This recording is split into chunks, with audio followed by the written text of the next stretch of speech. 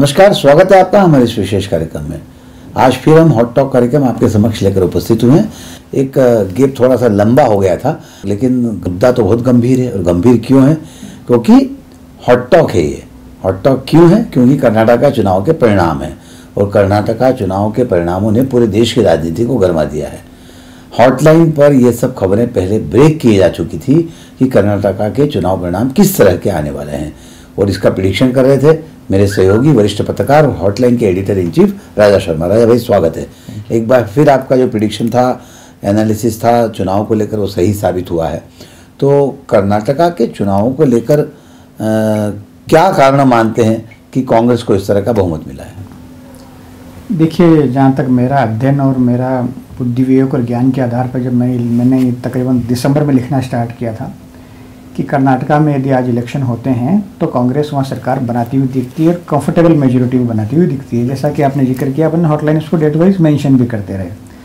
इसके बड़े दो तीन मुख्य बड़े कारण रहे कि पूरे देश के अंदर यदि आज आप कांग्रेस के ऑर्गेनाइजेशनल स्ट्रक्चर को देखो, संगठनात्मक शक्तियों को देखो तो मेरी समझ से केवल एकमात्र देश में कर्नाटका एक ऐसा राज्य है, जहाँ कांग्रेस का ऑर्गेनाइजेशन बहुत मज़बूत है। एक बात। दूसरा सबसे बड़ा कारण ये कि वहाँ की जो लोकल लीडरशिप है स्टेट की, कांग्रेस की, वो बहुत मज़बूत पकड़ वाली और स्टॉलवर्ट लीडरशिप है, जिसमें सिद्धार्थ रमैया और डी शिव कुमार दोनों बहुत मज़बूत नेता हैं और दोनों की अच्छी फ़ैन फॉलोइंग है। प्लस उसका वैल्यू एडिशन तब हो जाता है जब कर्नाटका के ही राष्ट्रीय अध्यक्ष होते हैं। खरगे साहब कर्नाटका को बिलोंग करते हैं तो एक बड़ा वैल्यू एडिशन हो जाता है कर्नाटका को लेकर, ठीक है। ये तो बात हुई कि क्या क्या कारण रहे होंगे। फिर जैसे जैसे चुनाव आगे बढ़ता जा रहा था, वैसे वैसे ये बात समझ में आ रही थी कि कांग्रेस बहुत मज़बूत स्थिति में है, क्योंकि कांग्रेस स्थानीय मुद्दों पर चुनाव लड़ रही थी। कांग्रेस नेशनल एजेंडा पे बात नहीं कर रही थी। जो स्थानीय मुद्दे थे, उन पर कांग्रेस अपने मैनिफेस्टो को लेकर आई। फिर जैसे जैसे चुनाव आगे बढ़ते चला गया, आपने देखा होगा कि चुनाव फिर बजरंग बली पर शिफ्ट होता चला गया। जब चुनाव बजरंग बली पर शिफ्ट हो रहा था तो जब लोग नहीं समझ रहे थे, तब भी मैं लिख रहा था और कह रहा था कि इस बजरंग बली का लाभ कांग्रेस को ही मिलेगा। भारतीय जनता पार्टी को इसका लाभ मिलता हुआ नहीं दिख रहा है। जो मेरी समझ है, वो प्रधानमंत्री जी इस चुनाव को बहुत पर्सनलाइज होकर लड़ रहे थे।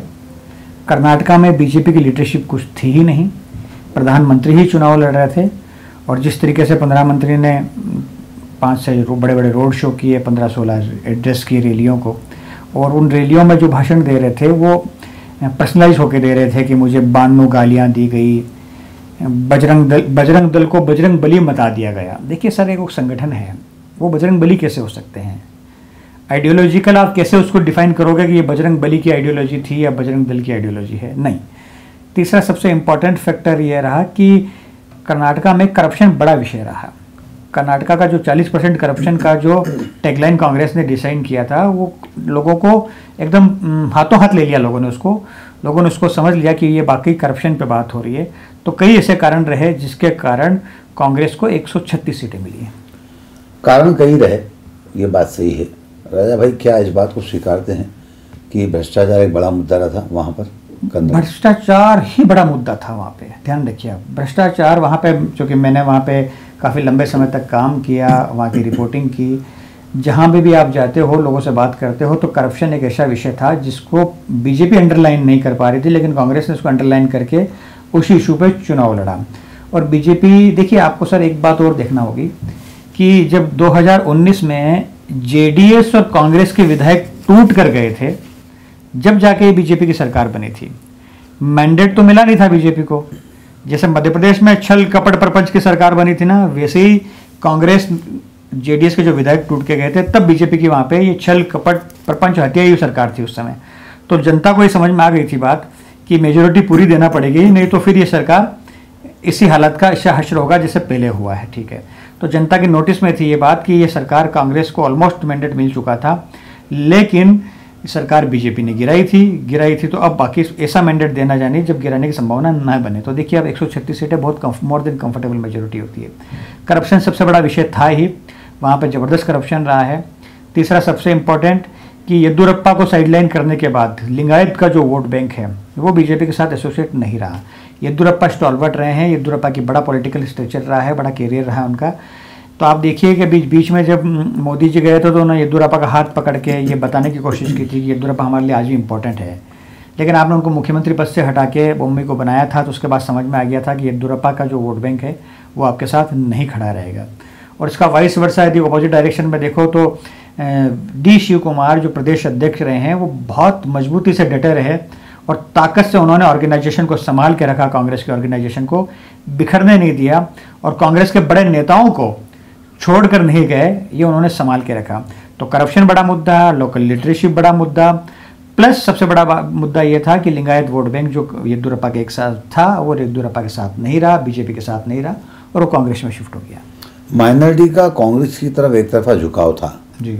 ये पहली बार देखने में आया कर्नाटका में वरना जनता दल एस और कांग्रेस में इनके वोट डिवाइड होते थे। तो क्या इसका फ़ायदा भी कांग्रेस को मिला? सौ परसेंट। जब बजरंग दल और बजरंग बली का मुद्दा जैसे जैसे ऊपर चला गया तो जो माइनॉरिटी वोट बैंक का आप ज़िक्र कर रहे हो माइनॉरिटी में कई क्ला, क्लासेस होते हैं कई कास्ट होते हैं उसमें कोई एक ही स्पेसिफिक नहीं होते तो उनको लगने लगा कि अब यदि जेडीएस को वोट देते हैं तो जेडीएस सरकार बनाने की स्थिति में तो है नहीं। पच्चीस की तीस हो जाएगी यदि उन्नीस की बीस हो जाएगी तो जो वोटर है उन तक ये बात पहुँची कि कांग्रेस को पूरी मेजोरिटी में सरकार बनाने का मौका दिया जाए। ताकि कर्नाटका की एक स्टेबल गवर्नमेंट रहे। तो मुझे लगता है, जो मेरी समझ है, जो मेरा ज्ञान है, कि बजरंग दल और बजरंग बली का मुद्दा जो है, बीजेपी के लिए उल्टा साबित हुआ और वो वोट जो है कॉन्सेंट्रेट होते चले गए कॉन्सिडेंट होते चले गए और कांग्रेस के साथ खड़े हो गए। सही कहना है राजा भाई का कि वो जो वोट अलग अलग दिशा में जा रहे थे, वे एक साथ इकट्ठे खड़े हो गए। राजा भाई, इस बात से सहमत हैं कि जिस तरह के परिणाम कर्नाटका में आए हैं, कहीं ना कहीं मतदाता बहुत समझदार हो गया है। जैसा अभी आपने कहा कि उन्होंने ये तय कर लिया था, उनको पता लग गया था कि जनता दल एस जो है, उसके पास पूर्ण बहुमत नहीं आना है। तो क्यों ना हम कांग्रेस को वोट दें? तो क्या ये मतदाता की समझदारी का परिचय नहीं है? मतदाता अब अब प्रलोभन और इन सब चीज़ों में नहीं आता? देखिए जैसे जैसे मैं फिर यूज़ शब्द इस्तेमाल कर रहा हूँ जैसे जैसे आप चलती सरकारों को गिराओगे, छल, कपट, प्रपंच के हथियार अपनाओगे तो वोटर को ये ज़रूर लगेगा कि हमने जिनको वोट किया था, हमने जिनकी सरकार चाही थी, हमने जिनको मैंडेट दिया था, उस मैंडेट का कोई मायने नहीं रह जाते हैं, जब यदि आप नैरो मार्जिन की सरकार बनती है। तो जनता इस बात को समझती है, जिसको भी दीजिए फुल फ्लैश में दीजिए, चाहे बीजेपी को दीजिए, चाहे कांग्रेस को दीजिए, चाहे जेडीएस को दीजिए फुल फ्लैश में दीजिए, तब जाके एक मेजोरिटी की सरकार बनी रहेगी, क्योंकि horse trading bargaining resort politics देश समझने लगा है। अब देश को समझ में आने लगा है कि रिसोर्ट पॉलिटिक्स में जब आपका मैंडेट एकदम नियर बाय होता है तो फिर कभी भी सरकार गिर सकती है, कभी भी सरकार की कुर्सी को हटाया जा सकता है, हिलाया जा सकता है। तो आपने कहा ना, जो मतदाता समझदार, मतदाता शुरू से ही समझदार है, सर, आज से नहीं। मतदाता शुरू से समझदार है, सबकी बात सुनता है, लेकिन अपने बुद्धि विवेक से वोट करता है। आप देखिए बीजेपी ने अपने पिच पे खेला, हिंदुत्व के पिच पे खेला। बीजेपी ने आज की डेट के अंदर ये जो बजरंग बली का जो एपिसोड था उस एपिसोड पर बजरंग बली को लगा, इनको लगा कि बजरंग बली हमारी नैया पार कर देंगे। लेकिन असली संजीवनी किसको मिली? असली संजीवनी तो मिली कांग्रेस को। तो आप ये मान के चलिए कि अब बहुत मतदाता समझदार हो चुका है। मतदाता अपने हिसाब से साइलेंट रहता है अपने हिसाब से ही वोट करता है। कर्नाटका के परिणाम निश्चित तौर से एक अलग इशारा कर रहे हैं राजनीति की तरफ़। वो राजनीति क्या और कहाँ इसका परिणाम भुगतना पड़ेगा? अन्य दलों को, भाजपा को ये समय बताएगा। लेकिन जिस तरह से आने वाले समय में राजा भाई छत्तीसगढ़ मध्य प्रदेश और राजस्थान में चुनाव होना है तो ऐसी स्थिति में क्या ये परिणाम प्रभावित करेंगे? देखिए सेंटिमेंट्स पॉलिटिक्स जो है ना परसेप्शन पॉसिबिलिटी और सेंटिमेंट्स पे चलती है। जब कांग्रेस को सेंटिमेंट्स ये डेवलप होते हैं कि अब हम मज़बूत होते जा रहे हैं, उनका मॉरल बूस्ट होने लगता है, एक मनोबल बढ़ने लगता है। मनोबल बढ़ने लगता है तो लगता है कि नहीं, हम यहाँ पर भी हम सरकार बना सकते हैं, क्योंकि वहाँ की भी कांग्रेस सॉरी, भाजपा की स्टेब्लिश गवर्नमेंट को हटा के कांग्रेस ने सरकार बनाई है। और जहाँ तक मेरी समझ है, आप और मैं यदि इतने समय से पत्रकारिता कर रहे हैं, मुझे ऐसा लग रहा है कि पहली बार प्रधानमंत्री ने इतना पर्सनल स्टेक लगाया था किसी स्टेट में।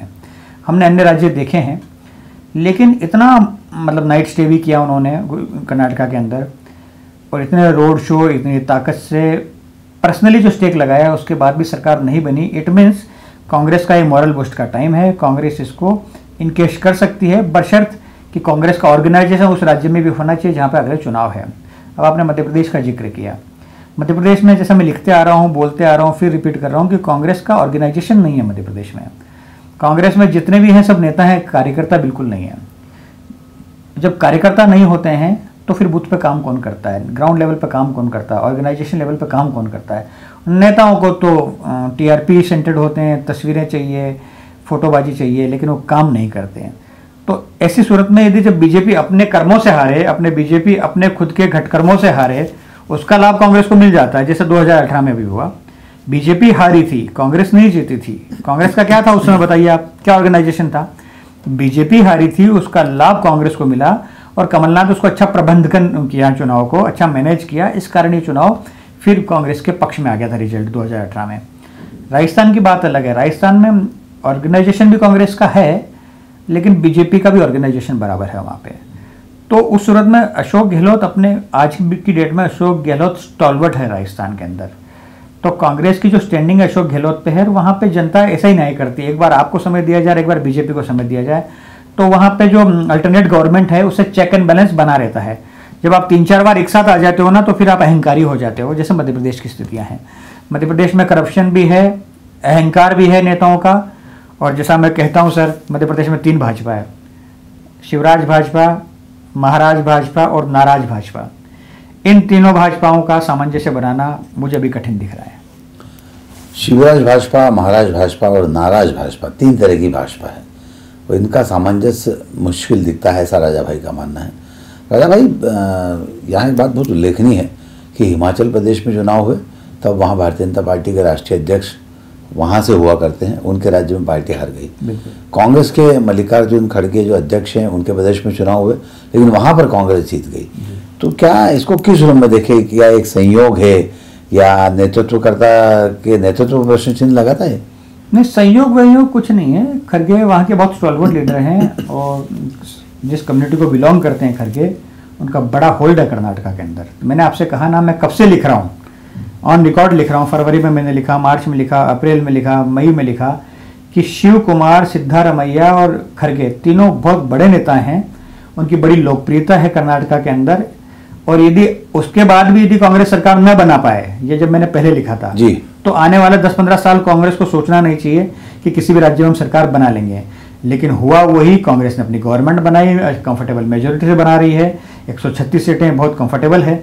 तो ऐसे में खरगे एक बड़े, जिस कम्युनिटी को बिलोंग करते हैं, बड़े स्टॉलवर्ड लीडर हैं। जब आपने हिमाचल का ज़िक्र किया तो हिमाचल में जेपी नड्डा हिमाचल से आते हैं, लेकिन हिमाचल कांग्रेस ने सरकार बनाई, बीजेपी वहाँ पे सरकार नहीं बना पाई तो जेपी नड्डा की local home town home state की लोकप्रियता पर प्रश्न चिन्ह खड़ा करता है कि आप देश में सरकार बनाने की बात करते हो, लेकिन आपके होम टाउन होम स्टेट में आपकी ग्रिप नहीं है पकड़ नहीं है। फिर आपने प्रधानमंत्री का स्टेक कितनी बार लगाया अमित शाह का लगाया। आप खुद वहाँ रोड शो करते रहे रैलियाँ करते रहे बड़ी बड़ी बातें करते रहे लेकिन आप सरकार नहीं बना पाए। इट मीन्स जेपी नड्डा की लोकप्रियता पर प्रश्न चिन्ह खड़ा होता है। राजा भाई अंतिम सवाल। जी। ऐसा माना जा रहा है कि शिव कुमार और सिद्धरमैया के बीच कर्नाटका में मुख्यमंत्री पद को लेकर दावेदारी को लेकर रस्ता कशी चल रही है। आपकी निगाह में कौन? सिद्धारमैया मुझे बहुत मेरिट पे नज़र आते हैं। सिद्धारमैया का जो कास्ट कोस्ट होल्डिंग है, वो मुझे लगता है कि सिद्धारमैया को मुख्यमंत्री के रूप में कांग्रेस चूज़ करेगी। डी शिव कुमार को ऑर्गेनाइजेशन में भी रख सकती है अभी भी कोई ज़रूरी नहीं है कि डिप्टी सीएम बनाए, क्योंकि ऑर्गेनाइजेशन में रखकर लोकसभा चुनाव की तैयारियाँ करने के लिए ये स्किल शिव कुमार में है कि ऑर्गेनाइजेशन को बाँध के रखे और ऑर्गेनाइजेशन के साथ काम करे। तो कर्नाटका में जो लोकसभा की सीटें हैं, उसको टर्न आउट करा पाए लोकसभा चुनाव के अंदर। ऐसा मेरा मानना है, कांग्रेस इस दिशा विचार कर सकती है। शिव कुमार गांधी परिवार के बहुत नज़दीक हैं। हो सकता है उसका लाभ उनको मिल जाए, लेकिन मेरी नज़रों में सिद्धारमैया मुख्यमंत्री पद पर बहुत first runner front runner candidate नज़र आते हैं मुझे। राजा भाई के मुताबिक सिद्धरमैया जो है मुख्यमंत्री पद के सशक्त दावेदार माने जाते हैं और शिव कुमार को पार्टी संगठन में रख सकती है। बहरहाल, ये शो जब आप तक पहुंचेगा, तब तक इस बात का फैसला हो चुका होगा कि कर्नाटका के अगले मुख्यमंत्री कौन होंगे। हमने आज इस विषय पर बात की कि कर्नाटका में चुनाव में किस तरह का गजरोह रहा, किस तरह की मतदाता की सोच रही और क्या वे कारण थे जिसकी वजह से वहाँ पर सत्तारूढ़ भारतीय जनता पार्टी को हार का सामना करना पड़ा। बहरहाल, आज के इस कार्यक्रम में बस इतना ही। सुनील जोशी और राजा शर्मा को दीजिए इजाज़त। नमस्कार। Thank you